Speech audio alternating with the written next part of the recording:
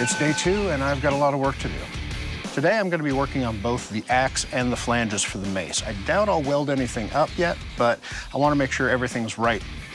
Today, I'm trying to take more of a marathon pace. I'm going to slow down, stay focused, work on my method, and get this axe forged out right. This is a home-built tire power hammer. Just got to keep your eye on it. If you do that, it'll take care of you.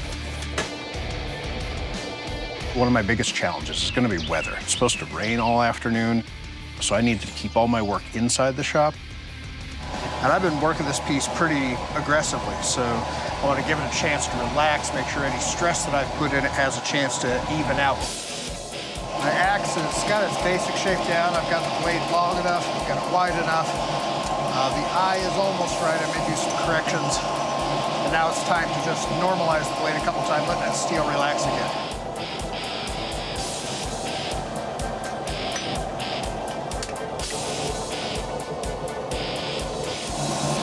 One of the reasons I really like doing this because there's a there's a pinch of magic in everything that we're doing here in the forge, and that just makes it fun.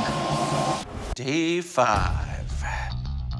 Today I'm going to cut down the mace just a little bit, get some weight off of it. It's a little little unbalanced since I had to cut the axe head down.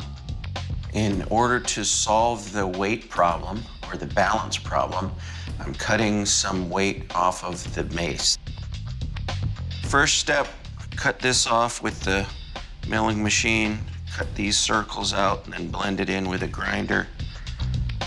Let's see if these hole saws will cut this first. Okay, here we go. It's not cutting it easy or fast, but it is cutting.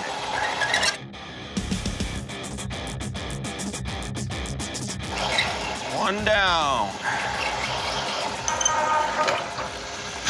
That's how that works. I think I like the new shape. My new and improved mace.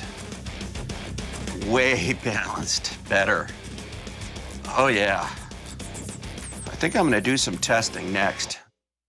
It's a little risky to do testing, especially on the last day. Very confident in the weapon. I'm just making sure ready to do some testing. I've got some denim, denim pants filled with kitty litter. I've got coconuts. I've got moose leg bone. Here we go. Ah!